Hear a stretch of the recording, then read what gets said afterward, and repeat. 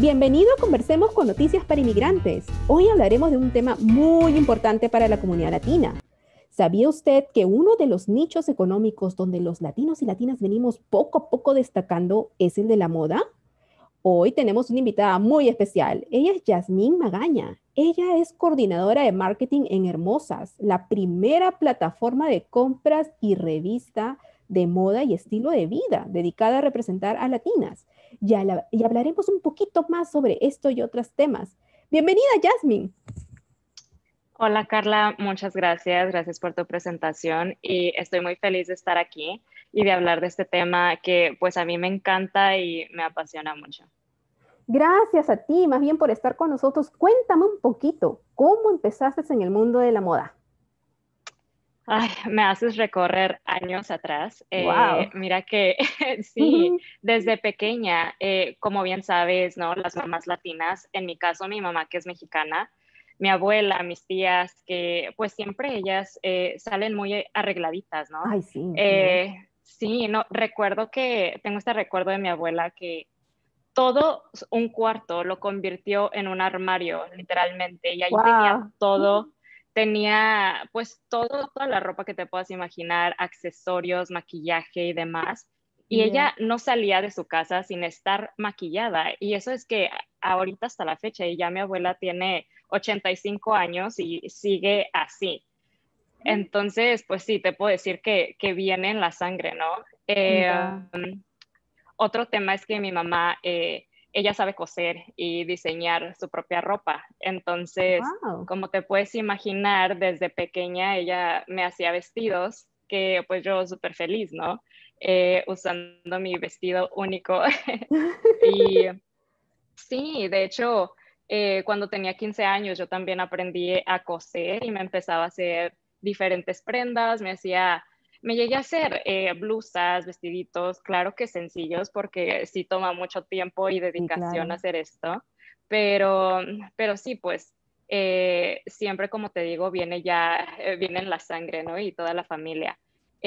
cuando terminé mis estudios de la universidad fue cuando ya tuve la oportunidad de trabajar en Hermosas, que pues bueno, aquí es donde aplico mis conocimientos de marketing y todo mi gusto por la moda y pues ahora lo vivo día a día. Wow.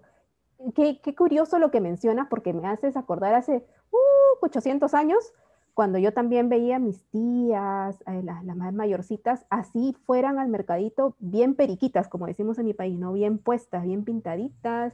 Y antes era eh, una costumbre de que eh, ellas cosían su propia ropa y lo hacían a tu medida y todo bien bonito, ¿no? Como tú dices, para ser la única con tu vestidito diferente. O sea, es muy importante que, lo, que esta experiencia tuya haya sido de generación en generación. Y dime, ¿tú crees eh, que, que, la comunidad latina en los Estados Unidos está representada en el mundo de la moda? ¿Cómo lo ves con tu experiencia? Sí, qué buena pregunta, Carla. Eh, mira que en mi opinión eh, y mi experiencia como latina y trabajando en esta área, yo me atrevo a decirte que no estamos lo suficientemente mm. representados. Eh, mira, por ejemplo, Hermosas, que es la primera plataforma que intenta hacer esto, que es representar la diversidad que existe en gustos de moda y la cultura latina. Eh, así que, pues este es otro punto muy importante, es que los latinos somos muy diversos en gustos y culturas. y una vez en Estados Unidos, eh, pues puedes imaginarte que se le suma la cultura americana y esto hace una mezcla pues muy interesante, ¿no? Que definitivamente necesita más representación. Y yo creo que también se necesita dejarla brillar sin miedos ni estereotipos. Qué importante lo que mencionas eh, del sin miedo, ¿no? O sea, a veces ah, llegamos a, este país, aprendemos otras cositas y a veces nos da miedo de lanzarnos más allá a ver qué pasa, si podemos explorar y también eh, dejar de lado un poco los prejuicios. Yo he escuchado que a veces hay, hay mamis o hay papis o hay personas que dicen, no, que cómo vamos a estar viviendo del, mundo de la moda, pero sí se puede. Este, creo que estamos en un lugar donde podemos tener estas oportunidades de explorar más allá de tan solo nuestros gustos, explorar qué, qué, qué, nos gustaría hacer, qué nos gustaría combinar y teniendo como base nuestra cultura, ¿no? Oye, Jasmine, ¿sabes? a mí desde chiquita, como, como te decía, me enseñaron a estar siempre como que bien arregladita o presentable, como decimos en mi país, ¿no? O sea, la ropa, que el aretito, que el maquillaje, que el vestidito. Pero la semana pasada leí un informe que me, que me llamó mucho la atención porque se señalaba que muchas marcas de maquillaje podían contener un producto cancerígeno. Y yo dije, uy, ¿qué está pasando? ¿no? Esto me preocupó porque pues de vez en cuando sí me gusta eh, poner mi maquillaje, eh, arreglarme cuando estoy saliendo, etcétera. Ahora que, podemos salir un poquito más luego de ser vacunados. ¿Tú sabías esto o cuáles serían tus recomendaciones? ¿Cuál es la implicancia de esto en el mundo de la moda desde tu experiencia? Eh, sí, mira, esto es muy, muy interesante y un tema muy importante. Eh, en, este trabajo que tengo, constantemente estamos escuchando a los consumidores.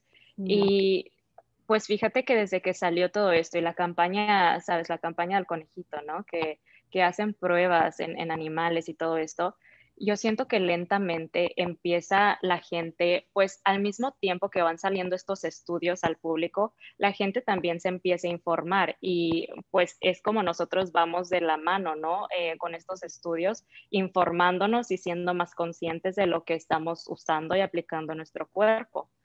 Eh, así que, pues, ¿qué te digo? Yo creo que nosotros como consumidores tenemos una responsabilidad muy grande también, ¿no? Y el deber de informarnos sobre estos ingredientes y posibles repercusiones que tienen en nuestro cuerpo.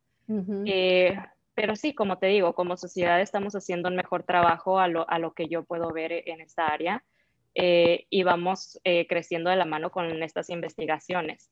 Eh, y pues mis recomendaciones serían que, cada quien poco a poco vaya informándose y haciendo pues los cambios pequeños que estén mediante a sus posibilidades, porque pues al final del día es nuestro cuerpo quien agradece estos cambios.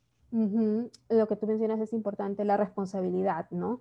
O sea, a veces eh, compramos cositas porque están más baratas y está bien, ¿no? Es, es bueno buscar de acuerdo a nuestro bolsillo pero hay que buscar detrás de, estas cositas baratitas, de este maquillaje, eh, que sea un buen producto también y que no nos haga daño, ¿no? Y, este tema es para todos, o sea, porque pues tú tienes eh, de repente no solo para mujeres, sino para hombres que también quieren maquillarse, o hombres que tienen mamás, hermanas, hijas, hijos que quieren maquillarse. Entonces es, muy importante estar informados sobre eso, ¿no? Y Yasmín, eh, he escuchado de algunos familiares, ya te lo dije un poquito antes, que el mundo de la moda no es para los latinos en los Estados Unidos. ¿Qué les dirías? ¿Qué, qué, piensas acerca de esto? ¿Tienes alguna información que de repente nos dé ánimos o nos esclarezca esto? Cuéntame.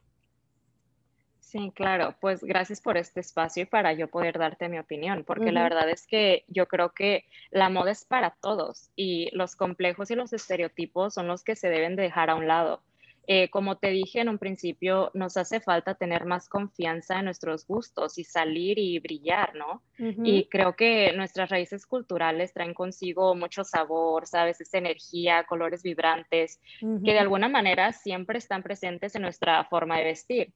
Y ya a eso, si le agregas tus toques personales y el no tener miedo de dejar que tus atuendos te representen, porque pues al final del día... Eh, la ropa es también, pues, es una parte muy esencial de lo que nos representa. Eh, yo creo que, que, con eso nosotros los latinos en, en, Estados Unidos, que somos una mezcla de culturas y vivencias y gustos que nos hacen, pues, únicos. Y tener eso que, como te digo, eh, sacar todo eso en la moda eh, debe de ser otra parte pues que nos sintamos orgullosos y como te digo, eh, llenarnos de confianza y salir y tratar de, si cada quien y a cómo se sienta cada uno con, con las ganas de si quieres ser blogger, si quieres ser diseñador, si quieres mostrar tus outfits en las diferentes redes sociales que tenemos, vaya, ¿por qué no hacerlo? O sea, creo que todos hemos notado que con esta nueva era de redes sociales, eh, lo que más se, lo que más pega y lo que más se ve es la gente que se atreve a salir, ¿no? A salir y a hacer su, su propia mezcla, a ser ellos y a ser auténticos. Y es lo que a, las demás personas, a los demás usuarios nos gusta y, nos encanta de ver, ¿no?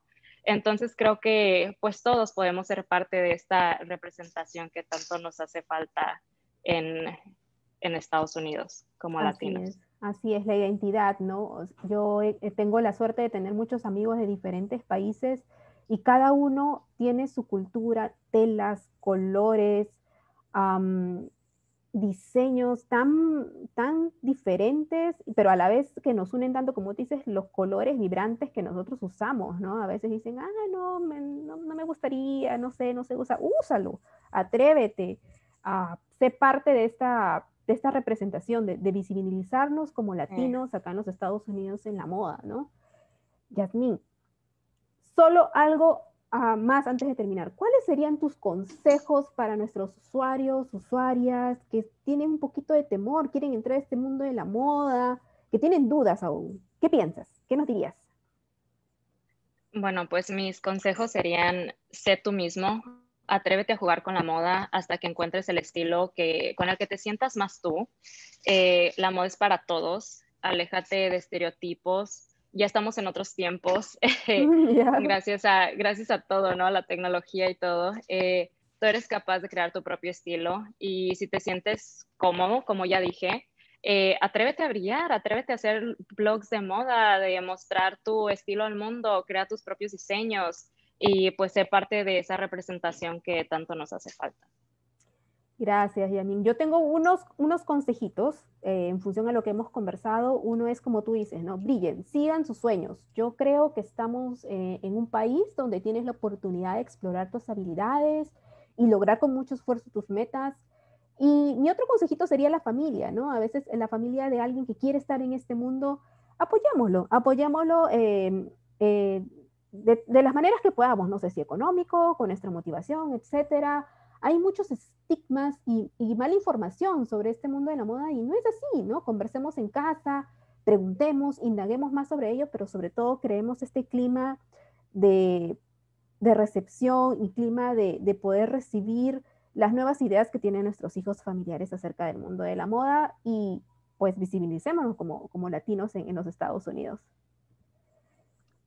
Sí, sí, Carla, eso que dices de la familia, nada más quería agregar, yo creo que eh, es muy importante que, hablemos, que nos comuniquemos, ¿no? Con nuestra familia, amigos y en nuestro, nuestros familiares cercanos, ¿no? Y gente que busquemos siempre ayuda y busquemos, eh, no tengamos miedo de preguntar, ¿no? Y, si igual no lo tenemos en nuestro círculo eh, social, pues cercano, con tantas plataformas que hay ahora, no temas a enviar un email, a acercarte a la gente que, pues está en eso. Créeme que siempre va a haber alguien que, te va a querer ayudar o guiar en este, en este mundo. Y no te bajones si no te responden, sigue, sigue adelante. Mil gracias, Yasmín, por ayudarnos a esclarecer este tema sobre el mundo de la moda y la comunidad latina. Y ojo, como ya mencioné, este tema involucra a toda la familia, ¿eh? Compartan, amigos, esto con sus amigos, familiares que quieren saber más de esta información comenten, si tienen consultas podemos ayudarlos y tratemos de informarnos los unos a los otros. Gracias y nos vemos pronto. Gracias, Yasmín. Muchas gracias, Carla. Gracias. Bye. Ah, y no se olvide de darle me gusta a este video, suscribirse a nuestro canal y sobre todo comente. Su opinión es muy importante para nosotros. Gracias.